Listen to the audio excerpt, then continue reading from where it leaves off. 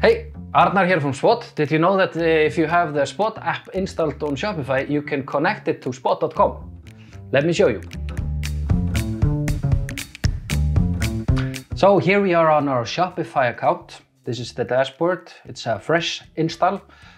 So we, the only thing we need to do is go find the SPOD app in our apps panel here on the left.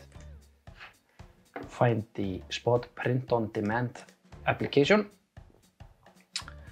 And this is the SPOD application dashboard. And the only thing we need to do to connect uh, this application to spod.com is go straight to SPOD via this uh, button here.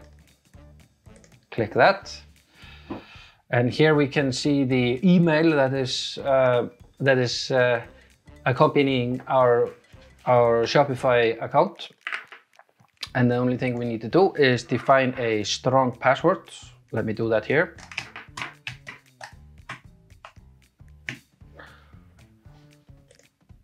Yep. And we're good to go. Submit password, and that creates a account, an account on uh, spod.com. And then we can go look at our newly made uh, SPOD account. And here we can see that uh, now our SPOD account is linked to our SPOD app on Shopify. And now you know how to connect your SPOD app Shopify account to spod.com.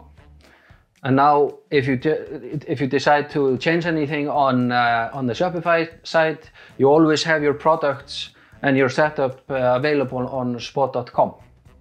I hope you liked this video and found it informative and uh, thank you very much. Please like and subscribe and as always have a great day.